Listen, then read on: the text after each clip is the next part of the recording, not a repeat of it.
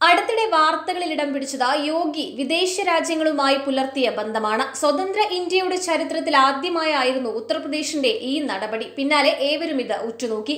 ഇതിന്റെ ഭാഗമായി ആഗോള നിക്ഷേപക ഉച്ചകോടിയിലേക്ക് വിവിധ രാജ്യങ്ങളിൽ നിന്നും വ്യവസായികളെ ആകർഷിക്കുന്നതിനായി അടുത്തിടെ യോഗി തന്റെ മന്ത്രിമാരെ പതിനാറ് രാജ്യങ്ങളിലേക്ക് അയച്ചിരുന്നു. സ്വാതന്ത്ര്യത്തിന് ശേഷം ഇതാദ്യമായാണ് ഉത്തർപ്രദേശിൽ നിന്നുള്ള ഒരു സംഘം നിക്ഷേപം സമാഹരിക്കുക എന്ന ലക്ഷ്യത്തോടെ വിദേശ പര്യടനം നടത്തിയതെന്നാണ് യോഗി അവകാശപ്പെടുന്നത്. ഇപ്പോൾ പര്യടനത്തിന് ശേഷം മന്ത്രിമാരുടെയും ഉദ്യോഗസ്ഥരുടെയും സംഘം മുഖ്യമന്ത്രിക്ക് മുമ്പിൽ റിപ്പോർട്ട് അവതരിപ്പിച്ചിരിക്കുകയാണ്. പതിനാറ് രാജ്യങ്ങളിൽ നിന്നായി യു പിയിലേക്ക് ഏഴ് പോയിന്റ് ഒന്ന് രണ്ട് ലക്ഷം കോടി രൂപയുടെ നിക്ഷേപമാണ് എത്താൻ പോകുന്നത്.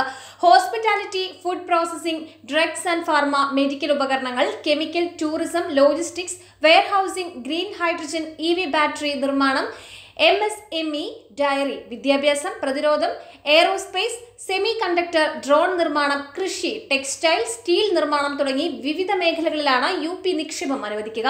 രണ്ടായിരത്തി ഇരുപത്തി മൂന്ന് ഫെബ്രുവരി പത്ത് മുതൽ പന്ത്രണ്ട് വരെ ലക്നൌവിൽ നടക്കാനിരിക്കുന്ന ആഗോള നിക്ഷേപക ഉച്ചകോടിക്ക് മുമ്പായിട്ടാണ് യോഗി സർക്കാർ ഈ കണക്ക് അവതരിപ്പിച്ചത്.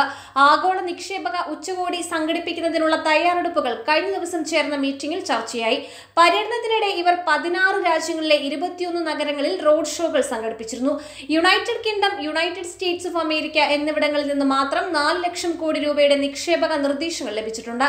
ഈ വിജയം ഉത്തർപ്രദേശിൽ നടക്കാനിരിക്കുന്ന ആഗോള നിക്ഷേപക ഉച്ചകോടി ഒരു ചരിത്ര സംഭവമാകുമെന്ന് ഉറപ്പാക്കിയെന്ന് മുഖ്യമന്ത്രി പറഞ്ഞു. ഇത് സംസ്ഥാനത്ത് വൻ തൊഴിലവസരങ്ങൾ സൃഷ്ടിക്കുമെന്നും അദ്ദേഹം പറഞ്ഞു.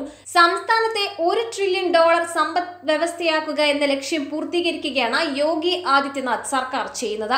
ഇതിനായാണ് പ്രധാനമായും ആഗോള നിക്ഷേപക ഉച്ചകോടി സംഘടിപ്പിക്കുന്നത്. ഉച്ചകോടിയിൽ പത്ത് ലക്ഷം കോടി രൂപയുടെ നിക്ഷേപമാണ് സർക്കാർ ലക്ഷ്യമിടുന്നത്. വിദേശത്ത് പര്യടനം കഴിഞ്ഞെത്തിയ സംഘം തുടർന്നും കരാറുകൾ ഒപ്പിട്ട വിദേശത്തുള്ള കമ്പനികളുമായും സ്ഥാപനങ്ങളുമായും വ്യവസായ ഗ്രൂപ്പുകളുമായും നിരന്തരം സമ്പർക്കം പുലർത്തും. ഇതിനായി ഓരോ രാജ്യത്തെയും സ്ഥാപനങ്ങളുമായി ബന്ധപ്പെടാൻ ടീം രൂപീകരിക്കും. ഇതിനായി ആവശ്യമെങ്കിൽ ഉച്ചകോടിക്ക് ശേഷം വീണ്ടും വിദേശ പര്യടനത്തിന് മുഖ്യമന്ത്രി അനുമതി നൽകിയിട്ടുണ്ട്. News desk news team Malayalam.